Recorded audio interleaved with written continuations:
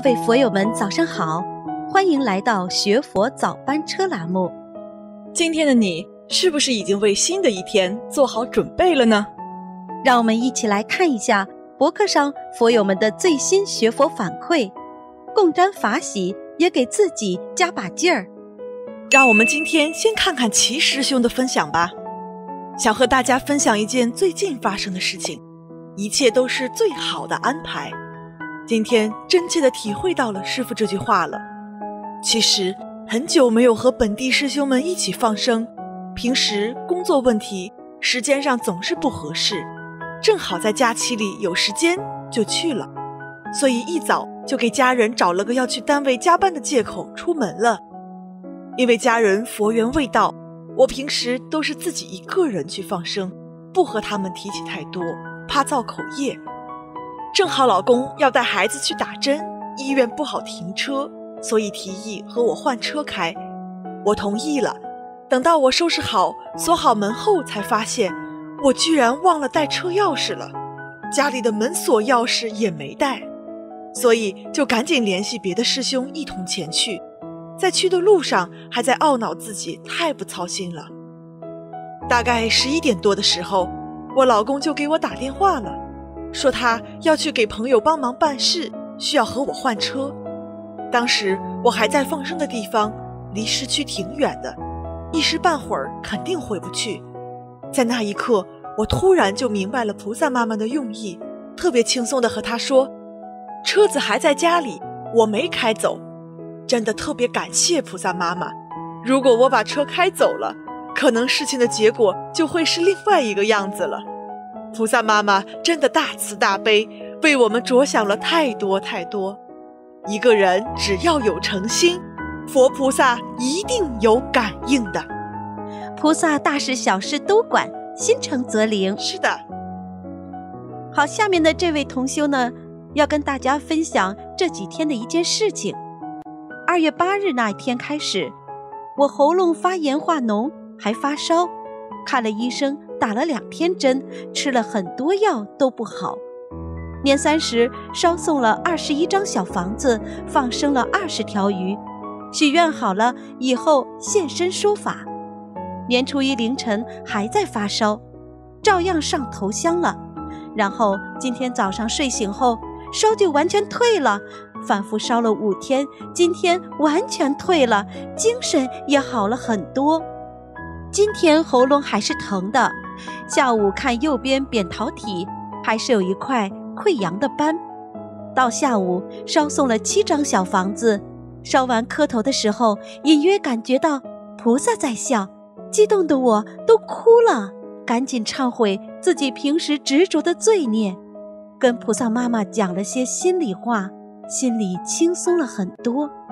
晚上再照镜子，右边的溃疡已经完全不见了。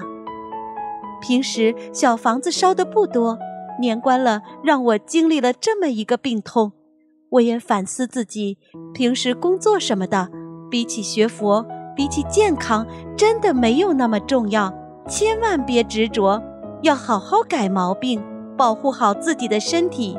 感恩菩萨保佑，真的非常感动啊！好，那接下来让我们听台长师傅给我们讲一个小笑话吧。希望大家每一天都可以笑口常开，法喜充满。有一个小笑话，说的兄妹两人经常吵架。中午睡午觉的时候，这个啊，这个兄弟呢，这个弟弟呢，隐约感觉到有人呐在给他盖被子。他微微的睁开眼睛，看见是他七岁的小妹妹。啊，他是兄弟。刚刚讲错了，是不是他弟弟？是他的哥哥。他为眼睛呢，睡觉的时候看有人给他盖被子，眼睛一睁呢，是七岁的小妹妹。他心中一暖。平时因为经常吵架嘛，心想：哎，我妹妹真的长大了。刚刚还没想好呢，没想到妹妹把被子从脚给他盖到了头，淡淡的说了一句：“安息吧。”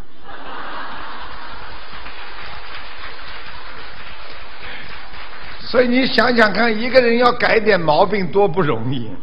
你说说看，一个这么小的孩子吵架，经常吵架，他就不能原谅别人。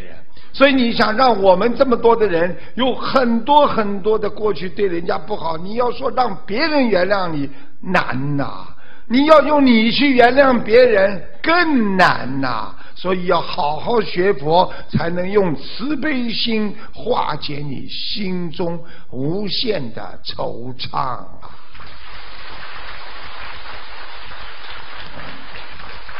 所以有些人呢，好像哎呀，我很率真自居，其实也是没修养啊。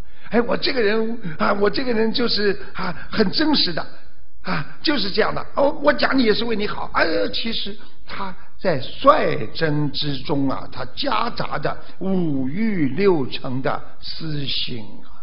如果你真的为别人好的话，别人会接受；你只要带着私心的话，别人不会接受。